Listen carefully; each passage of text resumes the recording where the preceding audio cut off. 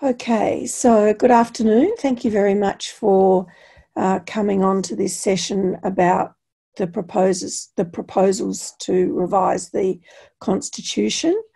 Um, this is a process which has been going on for about 14 months, and the board uh, selected a, a, committee in September last year so that they could do the detailed work on the constitution and make recommendations to the National Council and the board. And you'll see on this screen that uh, Genevieve Overell, who's an independent board director, uh, chaired the committee. Richard Kirk, I'm assuming you would know because he was the past president from 2017 18. The CEO, Julia Cambage, Barry Whitmore, the CFO and company secretary, and myself been working with the Institute for about nine months on a range of strategic issues. So, I'm going to take you through um, what are essentially the frequently asked questions on the website, but I'll be able to give you more context as we talk our way through these issues. And as I say, at any point, if you want to ask me a question, please stop and do so. So in 2015, the National Council then of the Institute engaged Henry Bosch, who was one of the financial markets regulators, um, to write a report about the governance structure and practices of the Institute. And in 2016, a number of changes were made to the Constitution that introduced a board and introduced uh, three independent directors of the eight, which I'll come back to later. Since that time, Joe Kirby uh, was commissioned to write a report, and Judith Slocum, who was the interim CEO for six months uh, until Julia Cambage started in February 2019. Each of these three experts identified that reforming the Constitution was a priority, that the, the current Constitution was not in line with contemporary governance practice, there are some duplications, some errors, uh, a range of things that actually don't work in terms of the Corporations Act. And this is a time to actually have a modern, contemporary document, uh, particularly in the difficult times that we live in. So, February last year, uh, the Board and National Council endorsed the Slocum report as a sort of action plan for a whole range of reforms to the organisation. Um, there's been a whole series of issues that the Board and National Council have considered over that period of time. And in November last year, they endorsed the scope of changes. Um, Minter Ellisons were hired as the external lawyers um, to give us legal advice. And the committee that I talked about at the beginning um, was given the task of making recommendations to the board and National Council. And of course, we use those three external reports as um, part of the analysis that we did. Uh, there's been a lot of discussion between board and national council, which I'll go into in more detail as we get down into the into the, the body of the discussion. Um, all the chapter councils have been briefed um, draft constitution is now up in both a clean and a track change version. Um, originally, we were trying to get all of this ready for an early May um, AGM because there was the national conference and the Venice Biennale. Obviously, COVID 19 has changed all of those things and they're not going ahead. So we now have more time um, the um, their financial reporting doesn't need to happen till the end of July, so it certainly won't be May, which gives us more time now. You've got until Friday, April 24 to actually provide feedback. Uh, the Board and National Council wanted a preamble that recognised the Aboriginal and Torres Strait Islander peoples and uh, the newly established First Nations Advisory Group and Cultural Reference Panel came together, and this was their first task. So I will leave you to read those words. They're on the um, the website and the FAQs, and I can send you this PowerPoint if you wish. So, currently in the Constitution, it talks about the Institute being a charity and getting deductible gift recipient status, which means if someone donates, you get a tax in tax deduction. Um, but to do that, the institute had to run art and scientific libraries and museums, and that's not something that's being um, considered any longer. So uh, we're stripping out those issues in the Constitution. So the principal purposes of the Institute are there advance architecture, advance education, culture, and social public welfare, welfare through architecture, advocate for the profession, and encourage education in architecture. Um, and I should also say that the Institute's foundation does have that DGR status, so there is still a vehicle whereby um, there are taxable um, donations that can be provided. How will the membership be affected?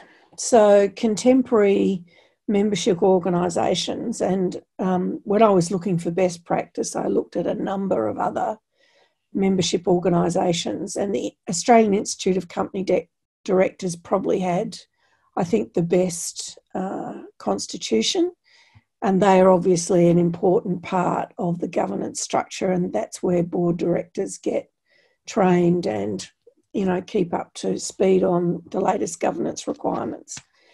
So, so what is normal now is that you have a framework in the constitution, and you talk about who has what responsibilities and roles and powers, but then the fine detail actually goes in regulation.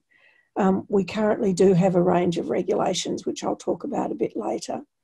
Um, so, currently, as part of the Constitution, there's a Schedule 2, which is a table that talks about the type of membership, uh, post nominals, whether they have post nominals, whether they can vote at an AGM or an EGM, whether they receive the annual report, and so on.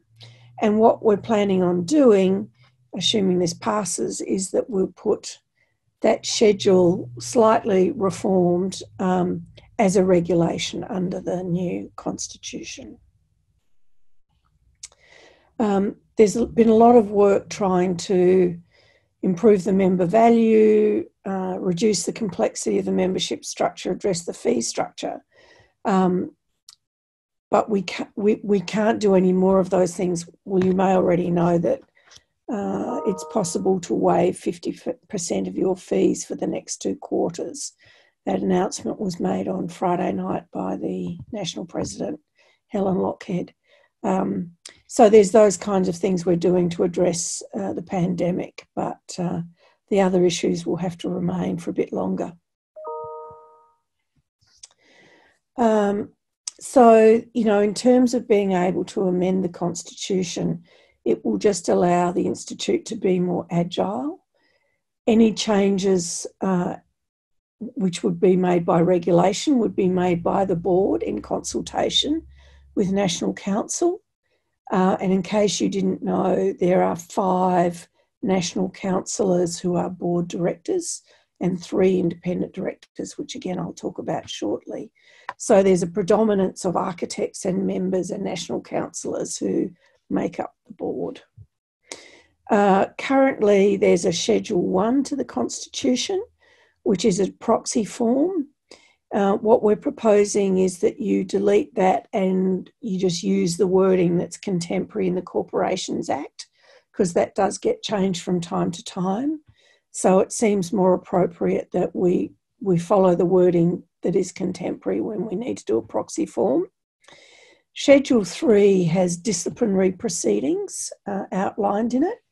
Richard Kirk said that it, there was only one, this is where you set up a tribunal because a client has made a complaint about a member architect and their external project.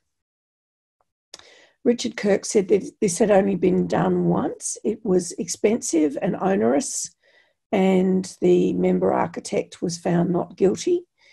So we're proposing that the board, remembering that most of the board directors are national councillors and architects, can resolve any complaints. They decide what's an appropriate mechanism, mediator or committee or conciliator, um, and that the code of professional conduct, which currently exists, be reviewed work, by a working party approved by National Council. Clarifying the roles of the board and National Council. So, again, if we go back to those three expert reports, pretty much, in fact, all of them said there are conflicting roles in the current constitution about how the board and National Council work. Under the Corporations Act, the board has the ultimate responsibility for the organisation in terms of its strategic direction, its finances, delivering performance against the organisation's goals and objectives. And each board director has very particular. Oh, here's a question. Let me. Uh, thank you for the board bringing the 50% um, thank you very much. Yes, there, uh, you know, the institute has been looking very hard at how to um, how to assist members, and um, I don't know if you've done any of the lean-ins that are being done on Tuesdays and Thursdays, but again, this is a way of uh, supporting members, giving them uh, knowledge. We've had a lawyer talking about contracts. Um, we've had someone else, or perhaps we're having someone else coming up who's going to talk about human resources issues. Um, and I guess it's also important that people feel that the Institute is there to back them up. So thank you for your comment. Um, so I was saying, you know, each board director uh, has the fiduciary re- responsibilities to make appropriate decisions and discharge their duties with care and diligence, even if they delegate their powers. So, under the current constitution, under clause 8.1, uh, it states that the National Council is an advisory body reporting to the board.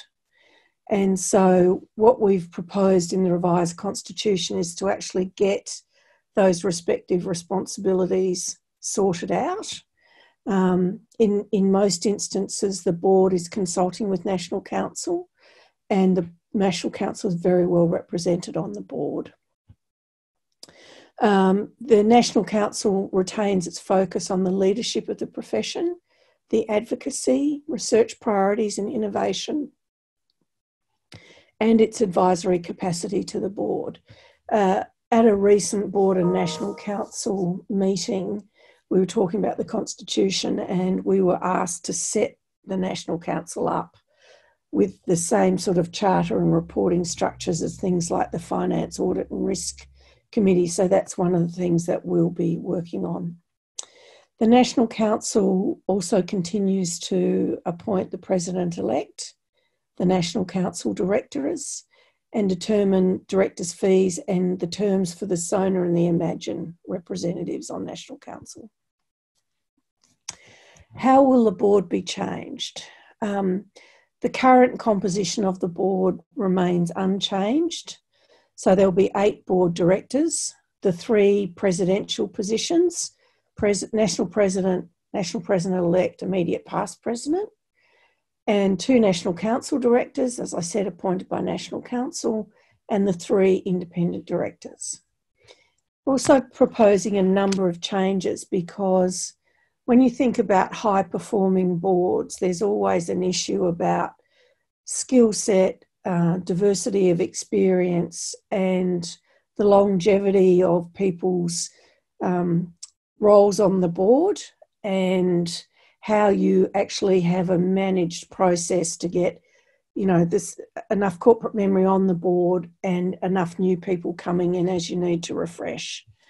So um, currently the national president is also the chair of the board so they've got a double role which is quite um, onerous and what the board and National Council are proposing is that they actually have a chairperson appointed by the board for up to three years at a time, with any director eligible to be the chairperson.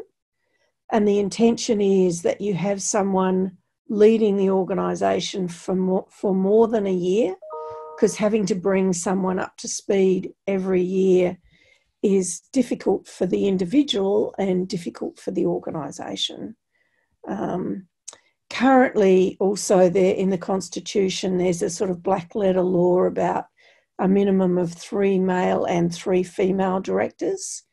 Um, and over the last year, the National Gender Equity Policy Committee has um, developed a policy which was approved by National Council earlier this year, and they have come up with a formula uh, which is 40 40 20, 40 female and male, and 20 any gender to be applied across the activities of the Institute. Uh, with a commitment by the Institute to actually collect data and research and do regular reporting about the Institute and the profession so we can see how that formula is being implemented. Currently, um, one of the three independent directors can be a member, and uh, what we're proposing is that none of the independent people are members. There are already five of the eight um, directors are architects and are members. And the researcher and literature around high performing boards actually talks about you need people from different backgrounds, different professions. In fact, the latest research on diversity, and I'm on a number of boards, is actually around how people actually make their decisions. So it's really important that you just don't have the same skill set sitting um, on the board and the appointment of the independent directors would now be done by the board in consultation with National Council instead of currently National Council doing that. As I talked earlier when I talked about high performing boards and the, and the chair, um, currently all of the directors are only on for one year terms, which you know is far too short. People need time to actually understand. Hang on a second. Uh, yes, there is a matrix of skills that make up the board, and in fact, um, there's some. Um, I'm not sure whether there was wording in the current constitution, but certainly in the revised constitution, there is very much a skills matrix, and it talks about, you know, appointment of directors um, taking that skills matrix uh, and people and culture policy into account when they think about appointing somebody.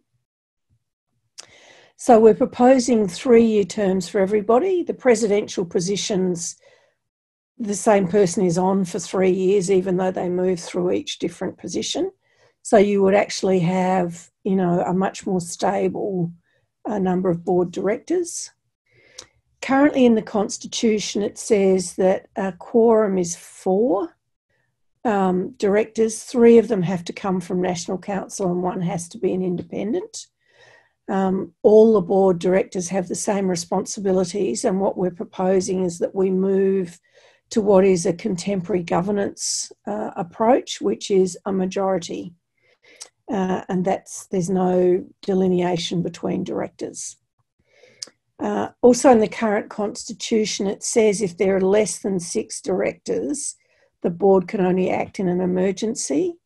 And we're proposing uh, a change which says as long as the board has a quorum, it can exercise its powers um, and operate under the, this constitution, which again is contemporary governance practice. Um, we're looking at changing for the written resolutions between board meetings that now 75% of the directors entitled to vote would be approval rather than the current 100%. How will National Council be changed? Um, let me just answer your question. Uh, yes, uh, yes, the um, board and National Council can use technology. Uh, and in fact, uh, there's been a number of recent meetings dealing with COVID 19 using Zoom. Um, and we did uh, quite a significant strategic planning piece by Zoom um, a couple of weeks ago. So, yes, that, that, that unlike local councils, uh, the technology is able to be used in the current constitution as well as the proposed one. Um, there was a number of discussions at National Council and Board about having a, a greater number of people who could um, become the national president elect or a national council director. So, one of the proposals is that we increase the number of nationally elected national councillors from four to six, and that the National Council, in consultation with the board, may increase the number of nationally elected national councillors from time to time from a minimum of six. So, if for some reason there was some big issue coming up and the national councillors felt they needed more nationally elected national councillors, there's a mechanism by which that can occur. Um, we're looking at increasing the term for nationally elected national councillors to three years with a maximum term of six years, which the six years is already in the Constitution. And if someone has served six years, they need to wait three years before they can reapply. Again, that's in the current Constitution. And um, in the current Constitution, to put your hand up to be the national president elect, you have to be a life fellow or a fellow. And the national councillors felt that this was um, a bit onerous. So we've used some similar type of language, but lowered the number of uh, years of membership. So the national councillors will elect a national president elect who must be a member who has made a significant contribution to the profession and the Institute beyond their architectural practice as determined by National Council and has had a minimum of eight years of membership. Uh, and again, similarly to what we're proposing with the board, uh, a, a, majority would just, uh, a, a, quorum would be a majority um, not delineating the particular types of national councillors, and that a written resolution would be 75%, not 100%.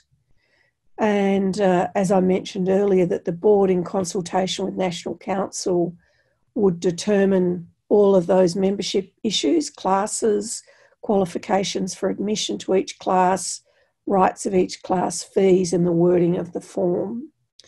Um, it's proposed that the, mem- the board would decide on whether to accept or reject membership applications, and they would delegate that function to the CEO if the revised constitution is passed. Currently, National Council delegates that function to the CEO. There are no changes proposed for chapter councils. And as I said, I've briefed all the chapter councils and they haven't come back to me and said they wanted something changed.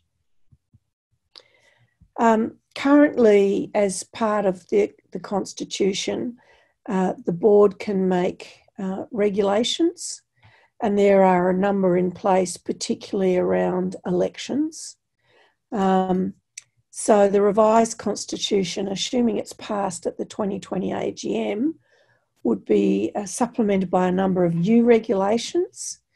Um, I talked about Schedule 2 being slightly changed um, which I'll talk about a bit in a minute. Um, and so the board would continue to have the power to make regulations and would do it in consultation with National Council. Currently, uh, the regulations are binding to all members, and that would continue.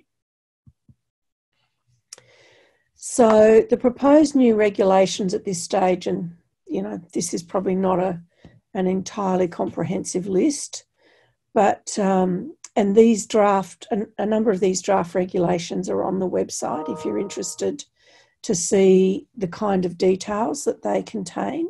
So we've done, we've in one comprehensive document, we've done an eligibility for membership document, um, schedule, membership classes and voting rights, the reform schedule two. Um, currently, the code of professional conduct needs to be reviewed, as I talked about earlier.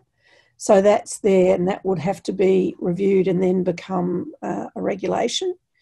There's a number of people and culture policies that will need to be reviewed and become regulation. The, gen, the new gender equity policy would be a regulation. We need to develop a diversity and inclusion policy. And the current member behaviour policy would be reviewed with the passing of the revised constitution. Sorry, excuse me, I'm just going to have a sip of water. Thank you.